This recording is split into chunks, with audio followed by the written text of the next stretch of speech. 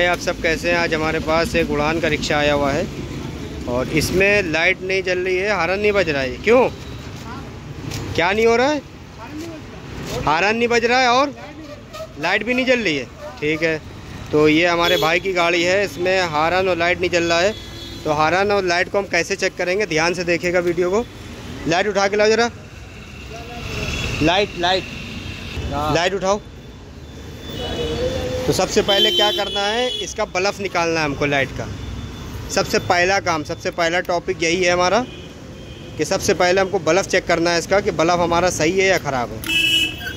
तो बल्ब को चेक करने का तरीका क्या है, इसके अंदर दो फ्लैमेंट होते हैं, दो फ्लैमेंट की स्प्रिंगें होती हैं, देखिए छोटी छोटी सी, वो हमारी सही हैं। तो बल्ब जहाँ तक के बिल्कुल ओके है तो एक बार हम इसको यहाँ पे लगा के चेक करेंगे, लगाओ इसको।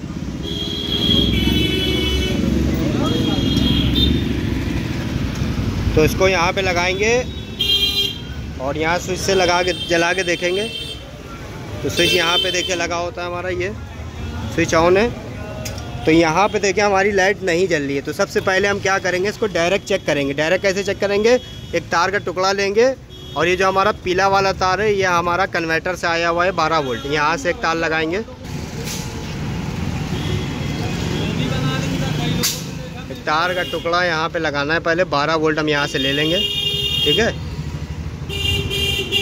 ये बारह वोल्ट तो यहाँ से देखिए, हमने बारह वोल्ट ले लिया। अब यहाँ पे हम, ये काले वाले में देखिए, एक मिनट को ये जो काला वाला तार है, ये हमारा ग्राउंड है। तो अगर इसमें अर्थिंग आ रही होगी तो ये बल्ब हमारा ज़रूर जलेगा। जलाओ ज़रा वाइट आले में लगाओ। तो देखिए, हमारा बल्ब जल रहा है। इसका मतलब है, इसमें अर्थिंग तो आ रही है, इसमें मेन नहीं आ रहा है।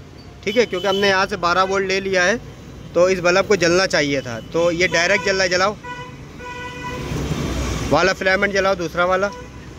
हाँ ये ये वाला जला दोनों देखिए फ्लैमेंट हमारे जल रहे तो इसका मतलब है, इसमें अर्थिंग आ रहा है मेन नहीं आ रहा मेन जो हमारा आता है, वो स्विच से आता है। तो देखिए स्विच का जो हमारा कपलर है, ये कपलर हमारा स्विच का आया हुआ है, तीन तार का है।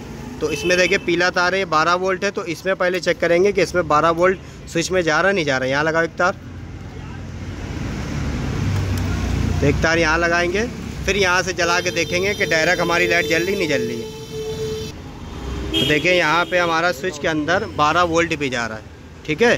तो अब जो हमारा आउट करता है, ये नीले तार से आउट करेगा, ये एक पार्किंग का तार है, और ये ब्राउन वाला जो एक तार है, ये हमारा हेडलाइट का तार है। तो एक यहाँ पर लगा ब्राउन वाले तार में।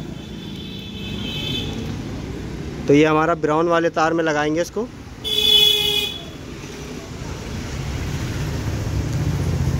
अब इसमें देखेंगे कि हमारा बल्ब जल रहा नहीं जल रहा, क्योंकि वहाँ से स्विच हमारा ऑन है। वाइट वाले में लगाओ। किसी में भी लगा लो हाँ। तो देखिए, नहीं जल रहा है। अब जो है, नीले वाले में लगाओ। देखो, नीले वाले से सप्लाई बाहर निकल रही है। नीले वाले में हमने देखे यहाँ लगा दिया। लगाओ नीले वाले में। बस, अब इसमें लगाओ। तो देखिए, अभी भी हमारी लाइट नहीं जली। अब क्या करना है? अब आपको डायरेक्ट चेक करना है, पीले वाले से। हमें नीले वाले में डायरेक्ट यहाँ तार को लगा देना, लगाओ। यहाँ चलो और यहाँ नीले वाले में लगाओ। तो देखिए हमारा बल्ब जल गया, ठीक है?